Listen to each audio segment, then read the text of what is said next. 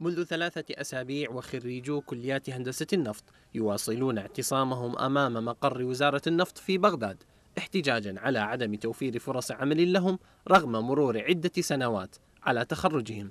الخريجون المعتصمون طالبوا وزير النفط ثامر الغضبان بتنفيذ وعده الذي قطعه لهم بتعيينهم. بعد أن ملأوا استمارات أعطيت لهم من قبل الوزارة. إحنا نطالب مطالبنا وطالبنا بها قبل. آه ما استجابت لنا الوزارة؟ استجابتهم كانت عبارة عن حلول ترقيعية.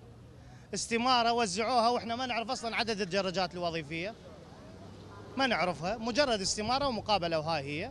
إحنا نايمين بالشارع أنا أتحدى أي واحد منهم أي مسؤول يقبل أخته أو بنته تبات على الرصيف. عندنا بنات هنا قاعدات على الرصيف.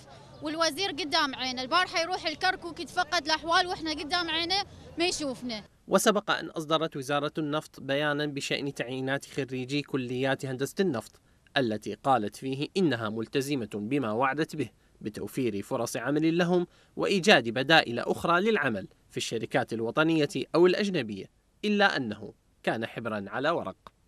قال إنه أكو أعداد وظيفية تستوعب عددكم كلكم. اعطونا استمارة بذاك الاعتصام. قال إنه أكو درجات وظيفية تغطي العدد الكلي يعني الموجودين. آه، 1800 مهندس ومهندسة. بس يعني انصدمنا لحد الآن ماكو يعني أي درجة وظيفية ولا علنوا عن أي درجة. بس الوزارة دائما ضليعة بإيجاد الأعذار. دائما ما تجد لنا أعذار أعذار واهية وتقنعنا بها. بس هالمرة وقفتنا غير شكل. هالمرة ظهورنا واستمرار الاعتصام لحد ما يتعين الكل. إحنا مضطرين الا إلا نتعين بالنفط. لهذا إحنا باقين باقين هنا إلا تشوفونا حل ال- ال- شغلتنا. المهندس العراقي لا يكلف الدولة الأموال التي يكلفها العامل الأجنبي. هذه أبرز العبارات التي كتبت على اللافتات التي رفعها هؤلاء المعتصمون. وأخرى أكدت أنهم ماضون باعتصامهم المدني المفتوح. حتى تنفيذ مطالبهم مرددين هتافات تطالب الوزارة بتحقيق العدالة في تعيينهم وإبعاد هذا الملف عن المحسوبيات الحزبية.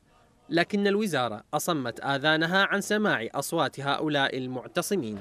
سويت دستورا بالدور القرايب ضويت على الأحزاب محجوز المناصب